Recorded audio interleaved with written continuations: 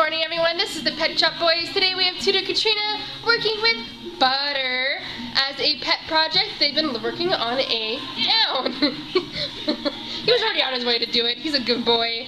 Down. Yes. Well done, Butter. Super smarty pants. Well, I hope you enjoyed the rest of your day at daycare. Bye-bye.